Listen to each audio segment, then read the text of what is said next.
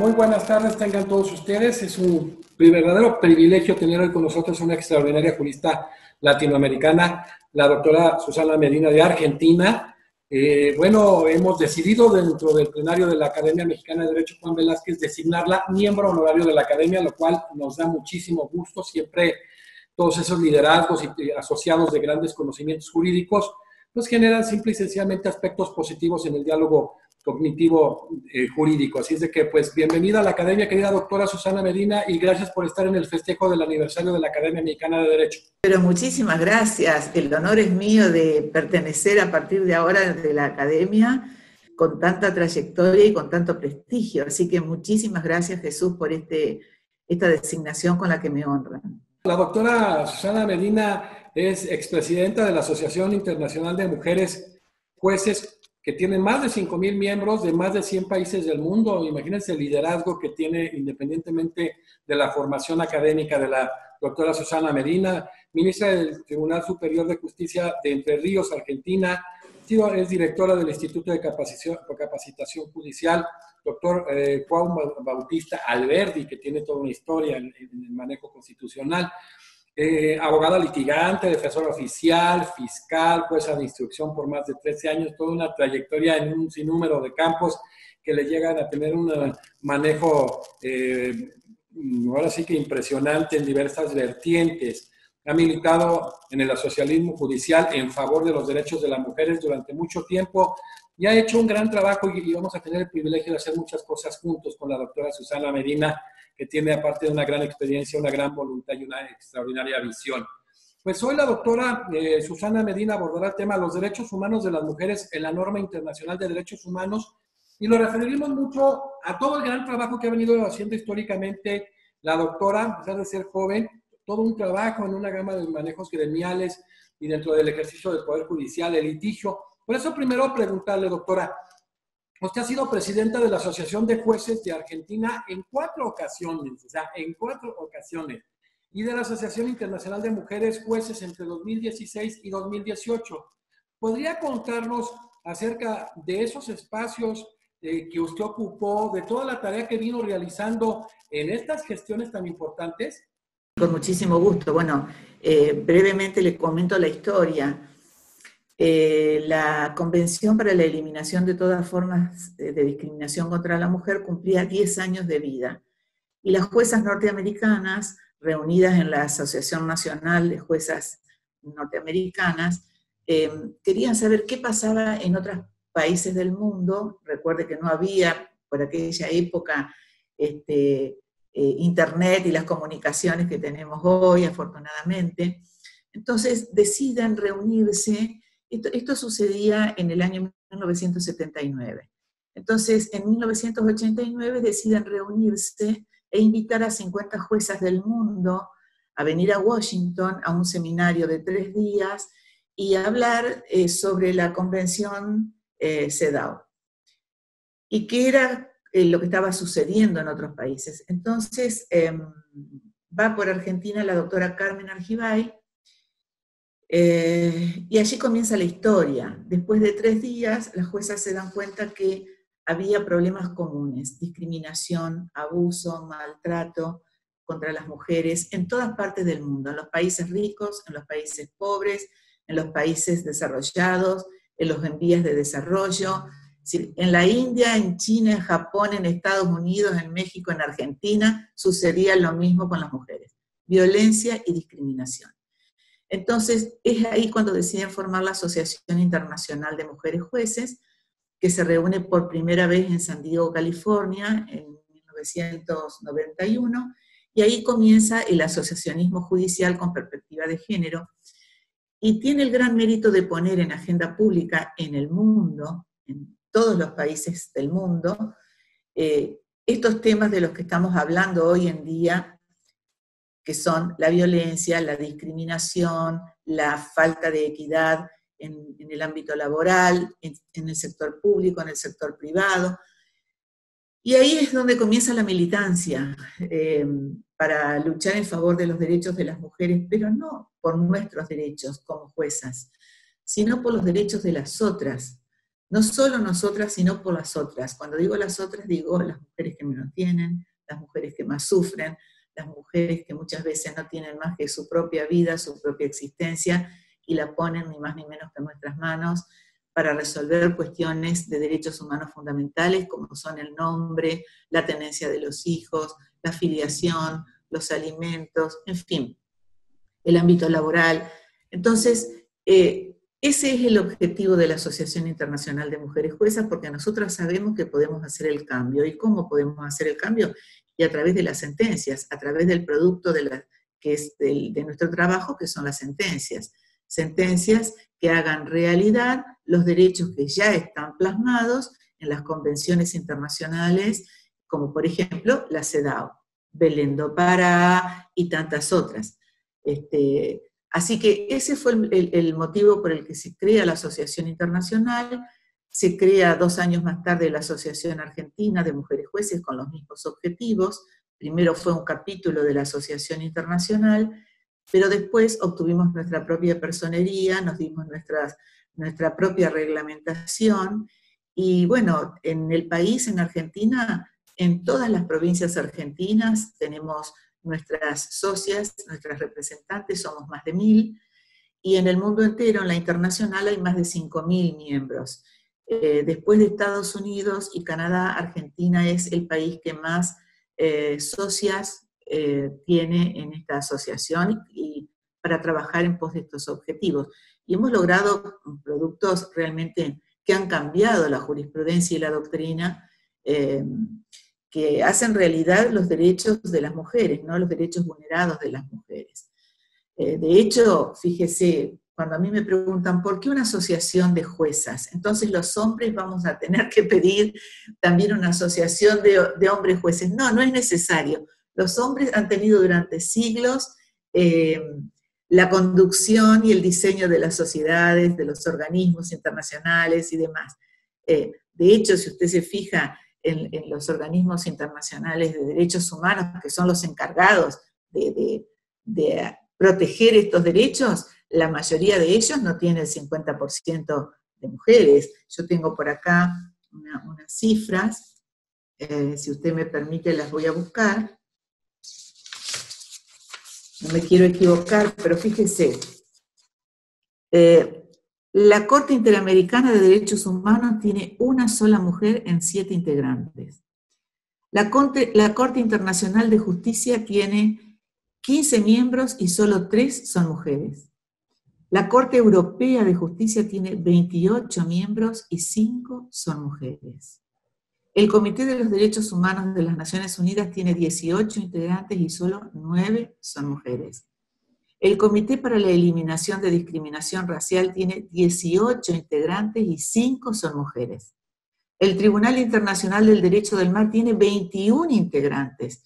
Y hasta hace un par de años había una sola mujer, la argentina, Elsa Kelly, la embajadora Elsa Kelly. Ahora hemos avanzado, de 21 somos 3 Pero con esto le quiero decir, si los organismos internacionales de derechos humanos no tienen una eh, conformación equitativa, eh, fíjese lo que nos cuesta estar, eh, trabajar en favor de que eh, entiendan de que hombres y mujeres somos diferentes en cuanto al sexo y bienvenido que así sea, pero somos iguales en derechos, en dignidad, en capacidad, en creatividad, y eso redunda en beneficio para la gente, es decir, más mujeres en los puestos de decisión, Jesús, es más justicia para la gente. Y así lo entendemos. Qué interesante. Por lo menos en la Corte Interamericana de Derechos Humanos, Elizabeth Odios hoy es la presidenta de la Corte. O sea, ya es, digo, es un gran logro. Sí. Altamente. Y, y, qué bueno que se hace. Se hizo, Por supuesto.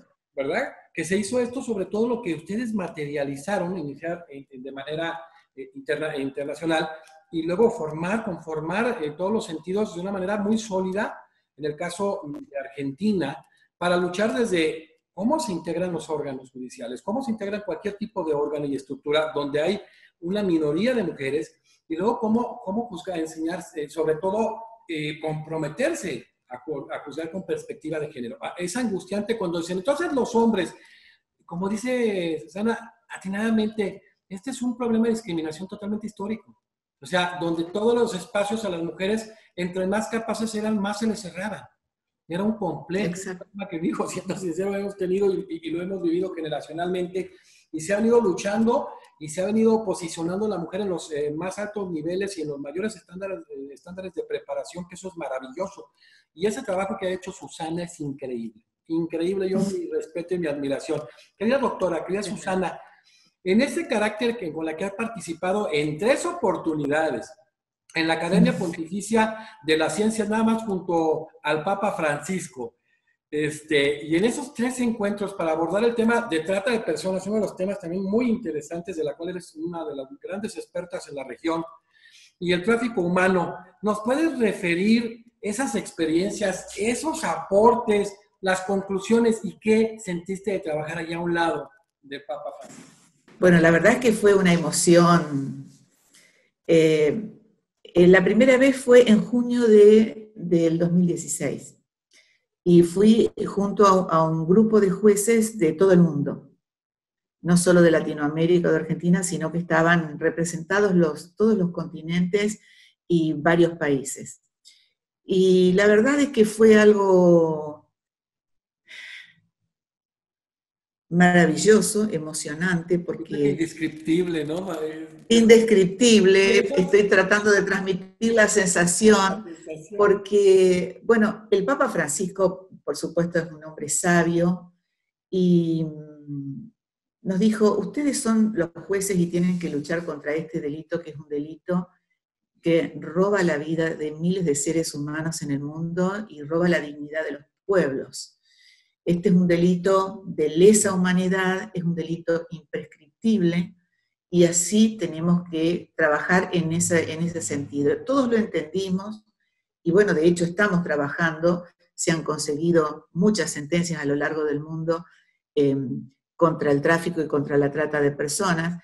Y ocurrió algo muy especial. Al finalizar, nos invita a todos, es un hombre muy sencillo, un hombre muy, muy cercano a la gente, nos invita a todos a sacarnos una foto grupal. Entonces, por supuesto, todo el grupo se, puso ahí adelante este, y yo eh, veía que el hombre buscaba un lugar donde, donde ponerse para la foto, porque tan sencillo era que no es que le estaban esperando para la foto. Entonces yo me hago un paso hacia atrás y le dejo el lugar. Entonces él viene y se pone justo delante mío y ahí es donde yo le digo, este, eh, Su Santidad, muchas gracias por la invitación. Y ahí le empiezo a hablar mientras los fotógrafos nos sacaban fotos y decían, miren para acá, miren para allá. Entonces yo le iba hablando de los derechos de las mujeres, de la Asociación de Mujeres Jueces y demás. Entonces cuando termina, él se da vuelta y me dice, le voy a dar la bendición. Ahí, ahí exactamente que tú no querías escribir esa foto. Es exactamente, es exactamente. y, y, es cuando se da vuelta y me pone la mano en la cabeza, para mí era inesperado y agradezco a quien sacó esa foto, que no sé quién de los fotógrafos eh, fue, que me saca esa foto en ese instante y la verdad es que sentí algo especial.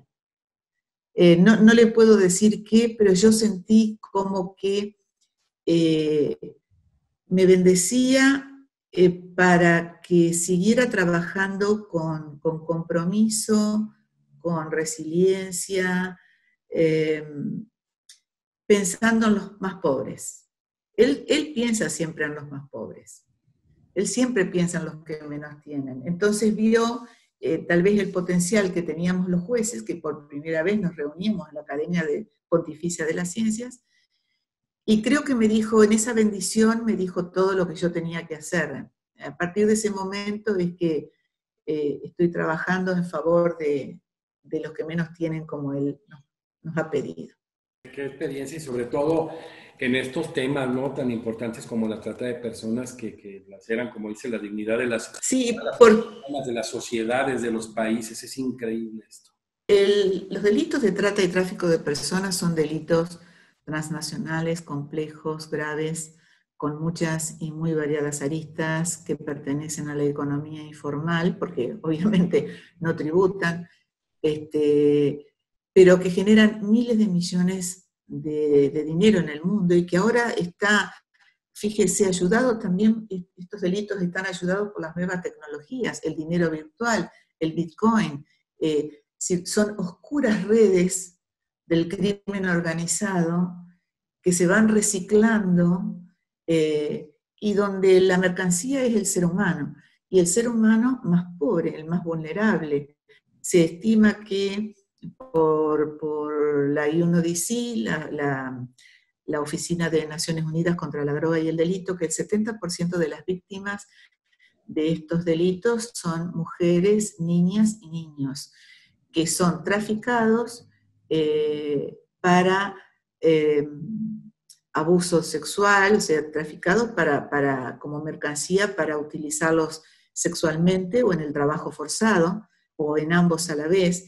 Y es un delito que, ya eh, había sido retratado en el año 1800, 1866 a 1867. Hubo un pintor famoso, Jean, Jean Jérôme, que mm, eh, él estaba obsesionado con el mercado de esclavos de Roma, para que vean desde cuándo existe este delito. Ahora bien, ¿vamos a permitir que en el presente y en el futuro esto siga sucediendo? Esto que ya fue retratado siglos atrás. Entonces, eh, yo creo que tenemos que mm, comprometernos más quienes ejercemos el poder y los jueces y las juezas ejercemos una cuota importante de poder, eso es innegable, somos doblemente responsables por nosotros mismos y por los demás. Eh, y cuando digo los demás, digo los que menos tienen, digo los que más sufren, digo los que muchas veces no saben leer ni escribir y vienen y ponen su vida en nuestras manos. Bueno, eh, la mayoría de estas, de estas víctimas eh, víctimas de la trata y del tráfico humano, eh, vienen de los países más pobres hacia los países más ricos. Es decir, las rutas de los tratantes son siempre las mismas, de los países del este a los países del oeste, de los países pobres a los países ricos. Y esto, em, por, la pandemia que estamos sufriendo por el COVID, se va a ver agravado porque la crisis económica mundial, global, va a dejar esta pandemia, va a hacer que sean muchas más las víctimas eh, eh, o las personas vulnerables de ser víctimas de estos delitos. Em, según una, por acá tengo un informe de, de la Organización Mundial de la Salud del 30 de enero de este año, donde, donde dice que las consecuencias económicas de la, de la pandemia este, van a conducir seguramente al aumento del contrabando de migrantes y de trata de personas. Entonces, si esto eh, va a ocurrir, eh, nosotros, los jueces y las juezas, y quienes tenemos alguna cuota de poder en los organismos del Estado, en los organismos administrativos, ya tenemos que estar pensando de qué forma eh, prevenir, anticiparnos a lo que va a venir, es esto, no podemos permitir que niñas, niños, adolescentes y mujeres jóvenes sean eh, la mercancía para satisfacer eh, las pasiones exacerbadas de los hombres, porque es eso, porque el que consume sexo de esa forma es por, por, unos lo hacen por codicia, otros lo hacen por avaricia y otros lo hacen por puro placer sexual. Y eso realmente son los pecados capitales de los que habla la humanidad y los que, a los que hace referencia el Papa Francisco cuando dice que estos son delitos imprescriptibles. Y así lo debieran entender todas las legislaciones en todos los países del mundo.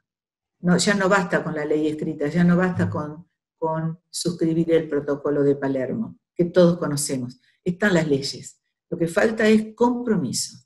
Es tan importante esta conferencia por los temas tan sensibles, pero tan profundos, pero muchas ocasiones también por lo poco que se entienden. Y hay uno de los conceptos eh, básicos que es la equidad de género. Yo quiero preguntarte, con toda esa expertise que tienes, con todo lo que te has venido capacitando, las cientos de conferencias que has dado en todo el mundo, lo que has intercambiado con, con cientos de jueces de todo el mundo, ¿Cuál es la importancia y por qué es necesaria la equidad de género en la sociedad? Bueno, porque mm, es una cuestión de derechos humanos y es una eh, necesidad para reforzar el sistema democrático y republicano de gobierno.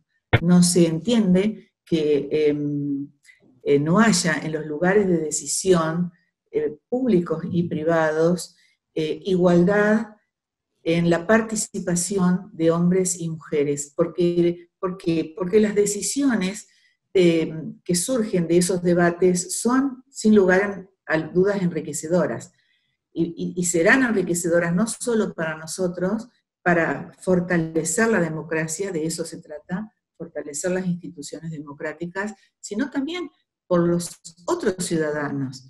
Si cuando nosotros estamos tomando eh, una decisión, eh, por ejemplo, un poder judicial que no tenga equidad de género, difícilmente el producto del poder judicial, que son las sentencias, salgan con una visión enriquecedora para resolver una cuestión de una persona en particular. ¿Por qué? Porque hombres y mujeres tenemos visiones diferentes, tenemos sensibilidad diferente.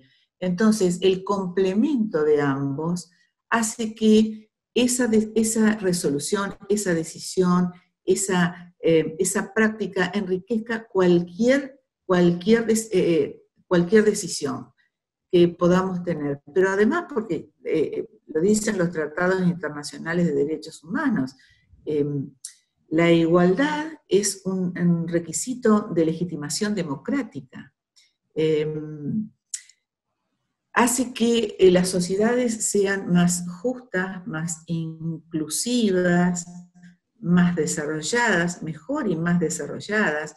Económicamente, el Producto Bruto Interno de los países em, seguramente con el aporte de las mujeres eh, se va a ver enriquecido.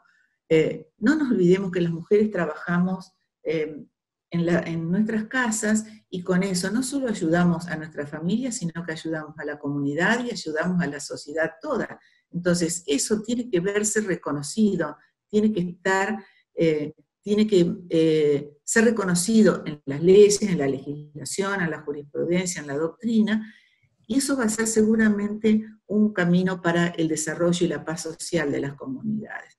Porque una sociedad que no es em, eh, igualitaria, una sociedad que no es eh, equitativa, una sociedad estereotipada y sexista, es una sociedad violenta. Y, bueno, el, resultado lo estamos viendo, ¿no?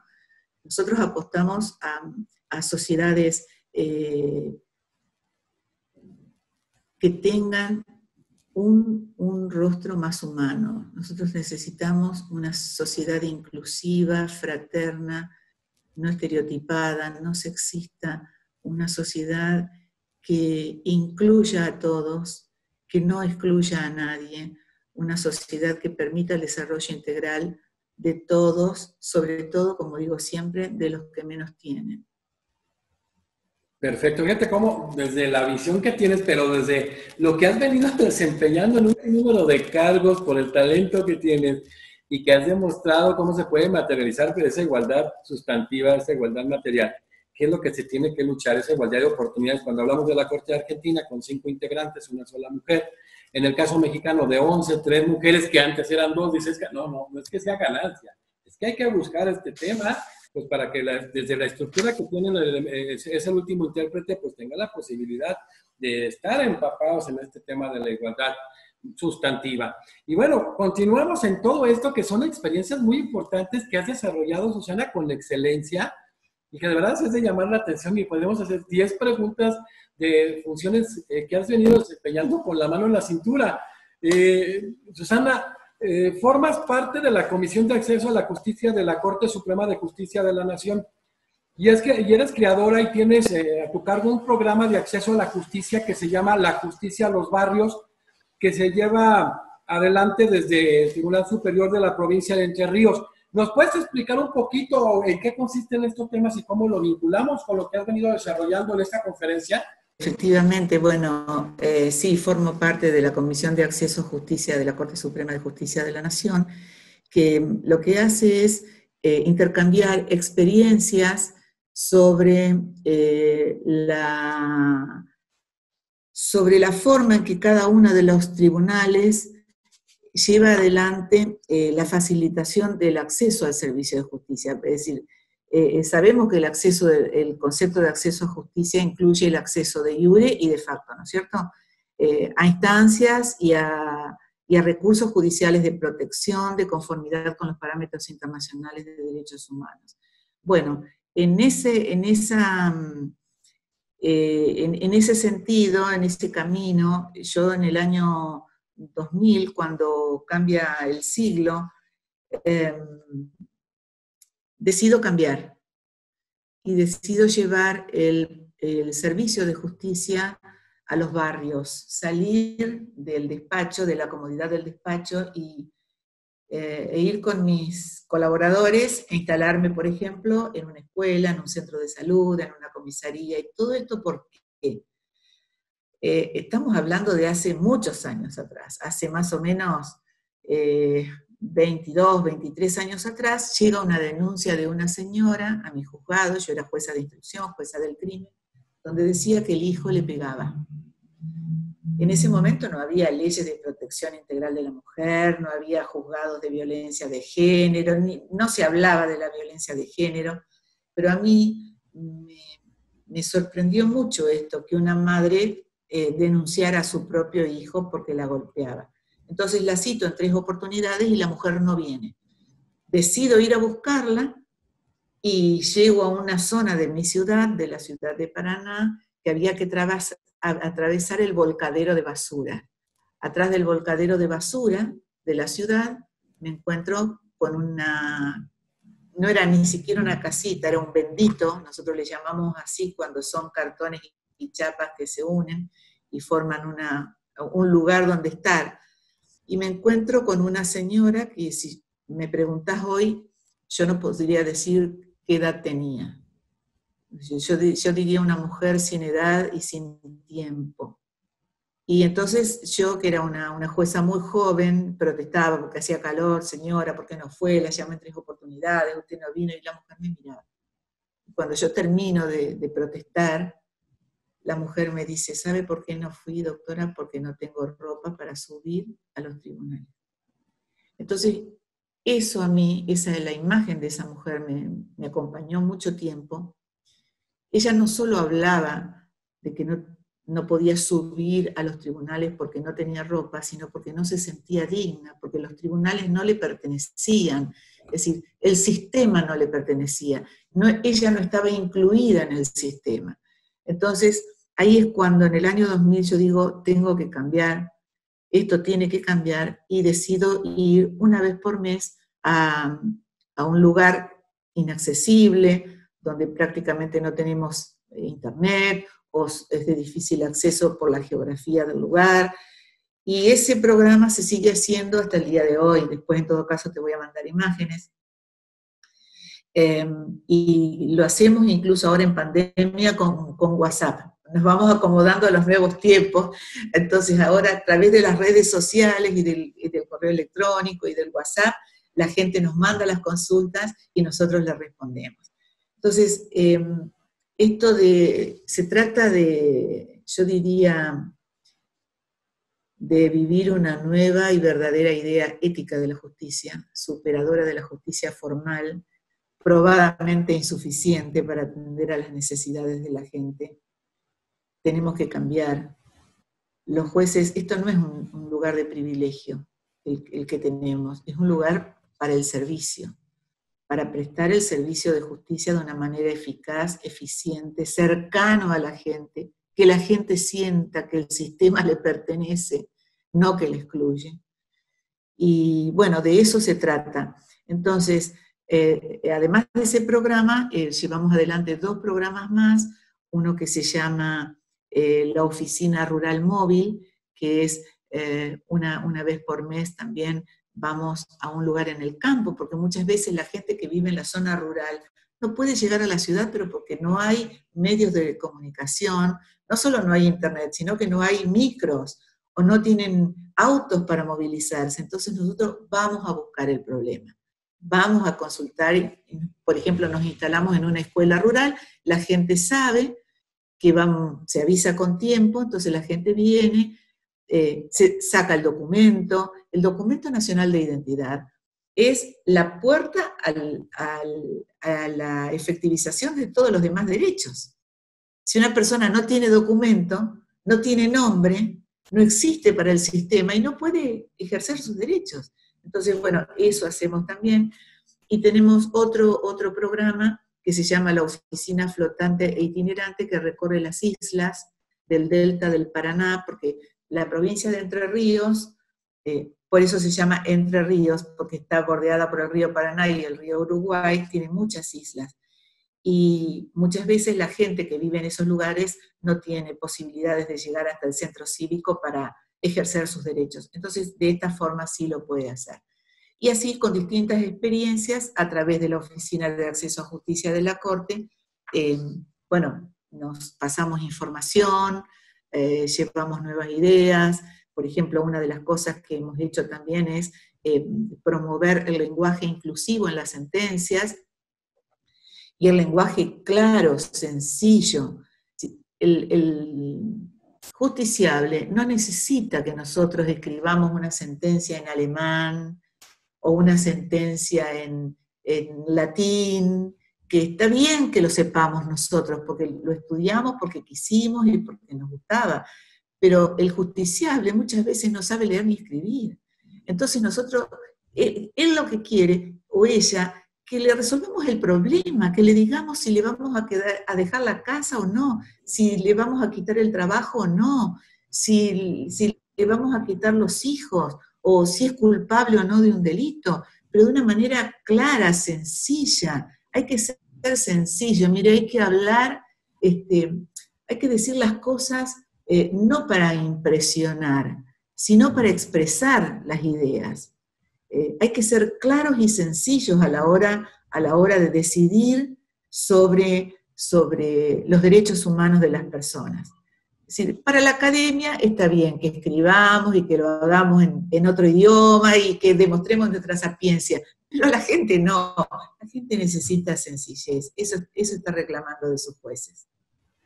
Susana, de, verdad es que si se ve tu trayectoria, que eres muy joven, e, eres una visionaria y, y, a mí me llama la atención lo que ha permeado, lo que has venido gestionando y gestando a lo largo de estos años eh, en todos estos temas. Por ejemplo, eh, en México, yo creo que siguiendo estos, estos patrones, eh, por ejemplo, esto que desarrollaste, la justicia a los barrios, cómo se accesa directamente, cómo hay un contacto, se rompen barreras, lo estaba haciendo el Instituto de Defensoría Pública de Michoacán con un excelente director, Marco Antonio Nava. Y, en el mundo ha permeado esto y tú has sido pionera, a pesar de, de que eres, eres muy joven, no, no soy tanto, no soy tanto, Jesús. Sí lo eres, y para todo lo que has hecho, claro que lo eres, y eres una mente fresca, una mente que no hayas eh, que producir, que produces y produces, pero sobre todo produces en aras de cuestiones tan positivas. Yo te, yo te tengo mucho respeto, este es un que ha valido mucho la pena, y quiero cerrar con algo este, que siempre tiene que ver con toda la actividad que has venido desarrollando, porque tú lo decías, podemos desarrollar en la academia, etc., maravilloso, pero tú lo has generado en la práctica en cuestiones del Poder Judicial, en cuestiones gremiales, organizacionales. O sea, has estado en todos los planos. No sé cómo te has partido y cómo has generado este tema de omnipresencia que yo creo que fue con esa bendición que te dio el Papa. Increíble. Sí. Eh, tú eres directora a la vez del Instituto de Capacitación Judicial. Doctor Juan Bautista Alberdi, que cabe decir que Juan Bautista Alberdi es un macro personal. Sí autor intelectual de la constitución más antigua de América Latina, la constitución argentina de 1853, una constitución extraordinaria, con muy pocas reformas, esta última de 1994 fue una profunda reforma, es una gran constitución. ¿Nos eh, puedes decir cuál es a tu criterio la importancia precisamente de la educación judicial? Hablando incluso de todos estos temas, ¿no? Estamos hablando de, de estos temas de, de precisamente eh, igualdad de, género, de este, igualdad material, sustantiva, eh, has tratado este tema de, estos temas de trata, esta cuestión de accesibilidad a la justicia, de un verdadero acceso a la justicia, acercarlo al justiciable. ¿Qué importancia tiene para alguien como tú, que conoces en esencia el funcionamiento del Poder Judicial, el tema constitucional, que has profundizado en los principales parámetros este, internacionales de derechos humanos, el sistema interamericano de derechos humanos. ¿Qué trascendencia tiene la educación judicial? Bueno, eh, creo que es fundamental. Eh, la capacitación y el perfeccionamiento judicial continuos son una valiosa herramienta de crecimiento individual, pero también de fortalecimiento institucional y garantía para el ciudadano. Una eh, judicatura capacitada y perfeccionada es una judicatura que garantiza derechos, una judicatura que ve más allá de lo que está viendo en la letra fría de la ley. Eh, la ley es un solo paso. ¿eh? Eh, hay, un, hay, un, libro que se llama El alma de la toga, de un español, Osorio, Ángel Osorio, que dice, el derecho está en los libros. Uno los busca, los estudia y puede quedarse en paz. Pero lo que la vida reclama no está escrito en ninguna parte. Y hoy la vida nos reclama cada día un mayor compromiso, nos sorprende, nos sorprende todos los días con algo nuevo. Fíjese lo que ha pasado con la pandemia, nos ha obligado a em, acomodar toda la estructura judicial para que no se detenga y que eh, se siga prestando el servicio de justicia. Entonces, eso solo se hace con capacitación.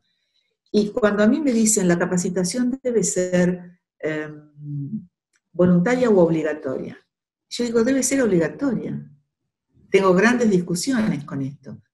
me dicen, no podéis obligar a los jueces a capacitarse. Sí, yo no los obligo, los obliga la ley.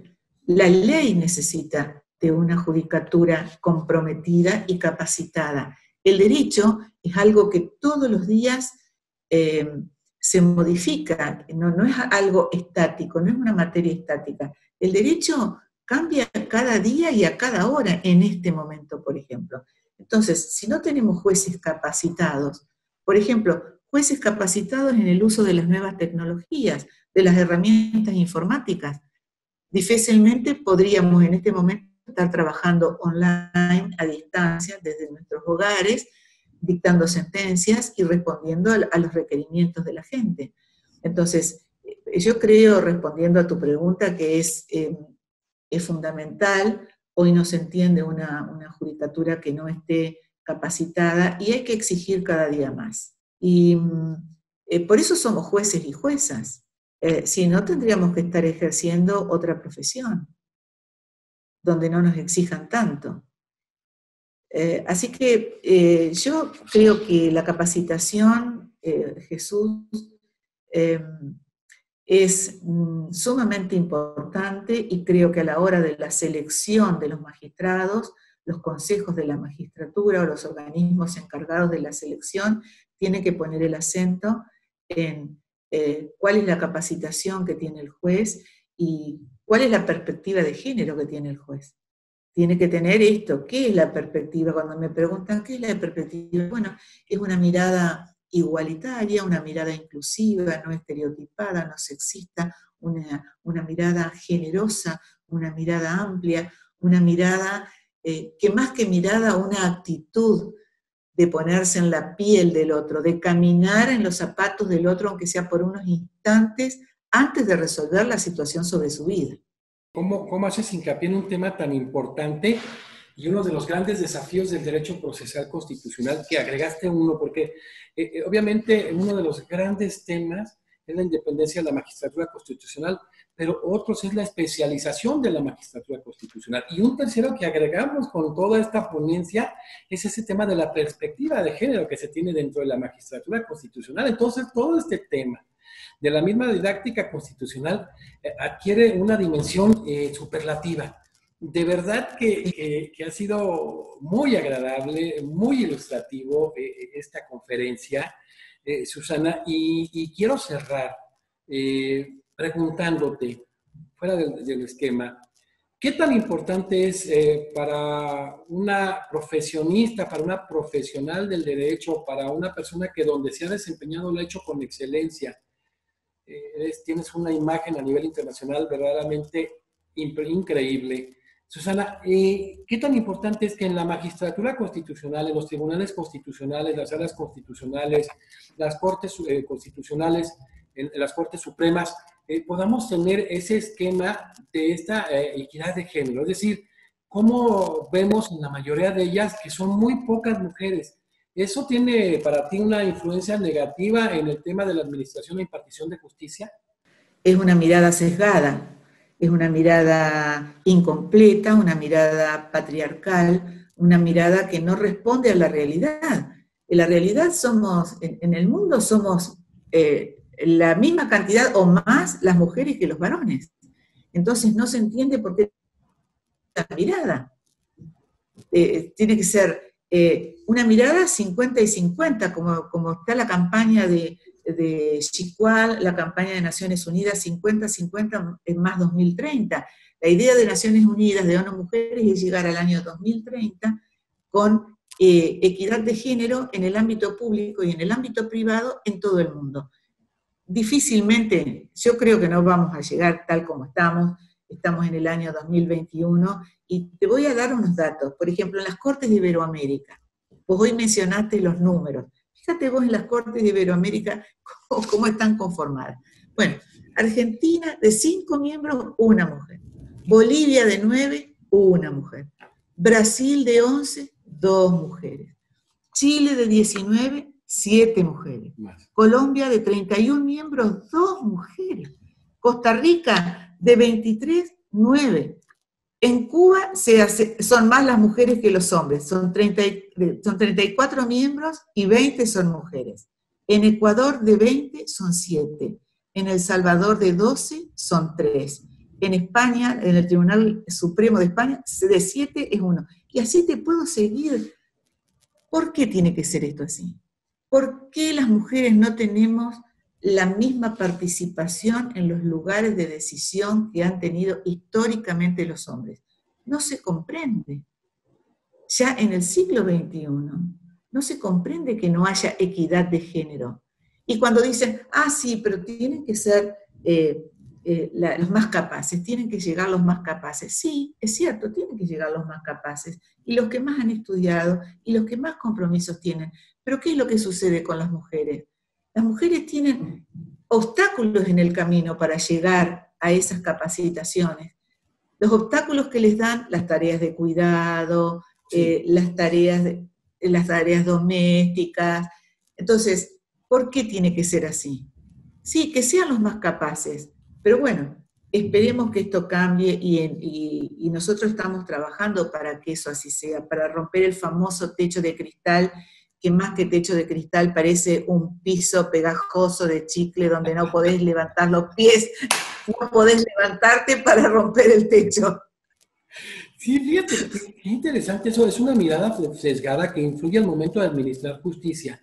Y que ahorita que hacen la referencia eh, en la magistratura constitucional en América Latina es de llamar la atención poderosamente y de una manera negativa, que eh, ejemplificas el caso de Cuba, que es muy importante, que hay más mujeres, en el caso que se acerca un poco más, que es el caso chileno y el costarricense, que son de las dentro de la Administración de Justicia de las más respetadas en América Latina, siendo sinceros, independientemente de la conflictiva que tiene Chile, el gran trabajo que se ha hecho eh, en la Corte Suprema y en la Sala Constitucional costarricense, es, ahí está, y, eso es de, analizarse. Y, dijiste algo muy importante, esos obstáculos que el Estado está obligado incluso a remover y a generar las condiciones para que se garantice y se haga efectiva esta igualdad material o sustantiva y que no se hace, que no se realiza.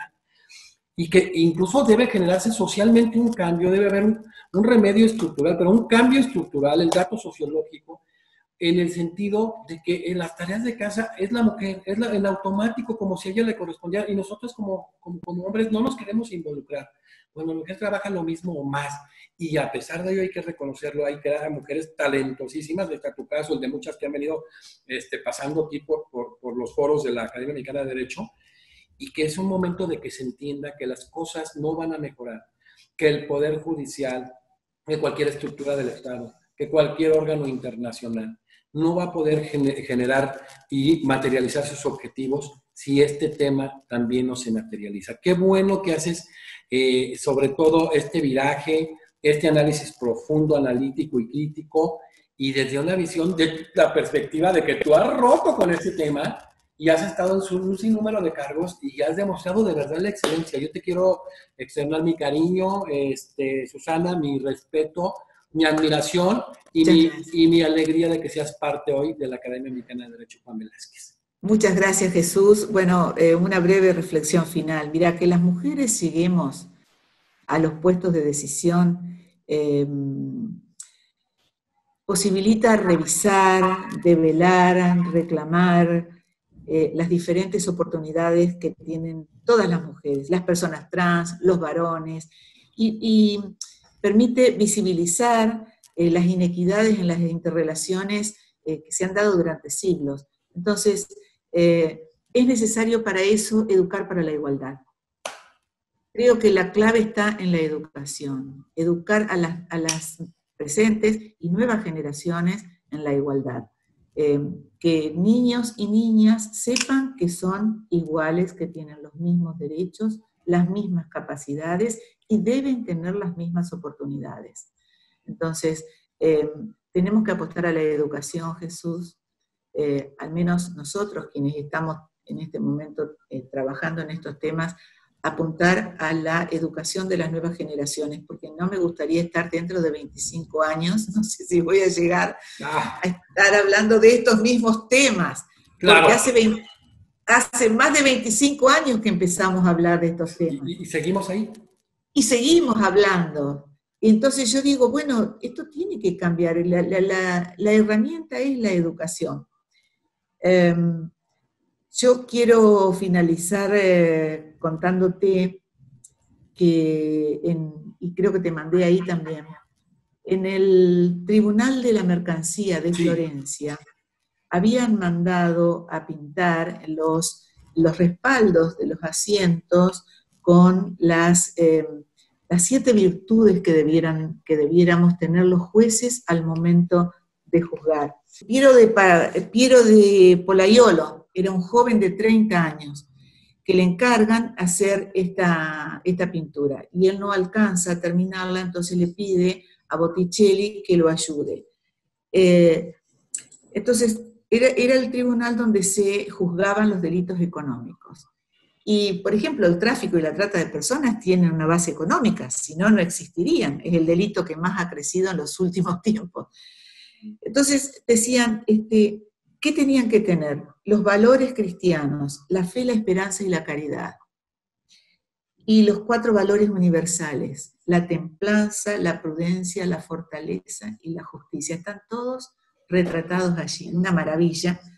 Este, entonces, eh, yo creo que los jueces y las juezas del mundo, que tenemos la obligación eh, legal y, la obligación moral de trabajar para trabajar hacia adentro de nosotros mismos, para tener estas virtudes a la hora de juzgar a los demás. A la hora de juzgar los hechos y las conductas de los demás, tenemos que mirar hacia adentro y después hacer un trabajo interno y después juzgar a los demás. Eh, eso es fundamental. Si no tenemos estas virtudes eh, cristianas, si no tenemos estas virtudes universales, los jueces difícilmente podamos juzgar la conducta ajena. Entonces, eh, yo quiero despedirme con estas palabras.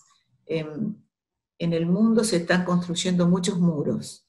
Algunos ya existen, otros están en construcción, y las juezas y los jueces tenemos em, el imperativo de construir puentes, de frente a estos muros construir puentes, puentes por donde puedan transitar los hombres y las mujeres del mundo eh, sin condicionamientos. Y a la hora de juzgarlos, tener en cuenta estas virtudes que están señaladas y muy bien eh, pintadas y retratadas en el Tribunal de la Mercancía de Florencia. Así que eso es lo que, lo que puedo transmitir, ¿no? Fíjate que eh, primero agradecemos toda esta, esta disertación que ha valido muchísimo la pena. Ah, vamos avanzando eh, a toda la gente que nos ve en Europa y en materialmente toda América, que va a haber una mesa muy importante eh, en un tema sustancial referido a, precisamente a lo que ha abordado hoy la doctora Susana Medina en relación a la perspectiva de género, que va a ser a nivel internacional y que va a participar la doctora y, platicaremos con ella para armar algunas mesas de a nivel internacional para que entendamos a profundidad este gran tema que eh, hoy más que nunca eh, tenemos que tocar eh, a profundidad para generar una verdadera transformación de la magistratura constitucional en aras de que estos desafíos que ya tienen muchos años, como lo refirió Susana, se vengan cubriendo. Es, es increíble, como dice ella, que a 20, 25 años digamos, en el debate del mismo tema y sería verdaderamente catastrófico que después otros 25 años más se siga debatiendo el tema. Es momento de generar conciencia. Es algo importante no para hombres, no para mujeres.